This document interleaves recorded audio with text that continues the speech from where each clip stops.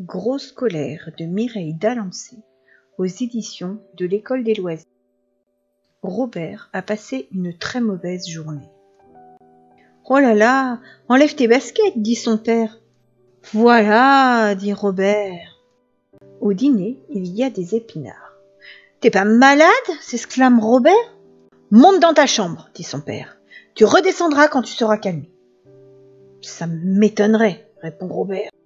Et là-haut, dans sa chambre, Robert sent une chose terrible qui monte, monte, monte, jusqu'à ce que... Elle sorte d'un coup Salut, lui dit la chose. Qu'est-ce qu'on fait? Euh.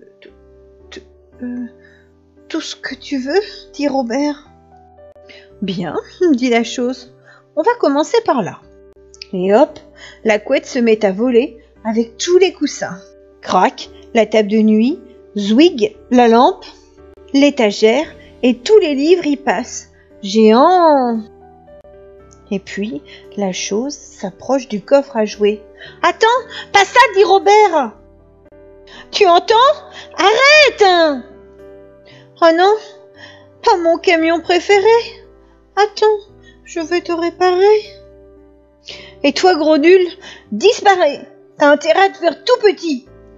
Oh, ma petite lampe. Attends, je te redresse. Oh, et toi, mon petit oreiller tout cabossé. C'est mon livre préféré. Il t'a tout froissé, mon pauvre. Là, c'est mieux comme ça? Ah, tu es là, toi? Viens ici que je t'attrape. Allez, oust, dans la boîte, et on ne bouge plus. Papa, est-ce qu'il y a du dessert?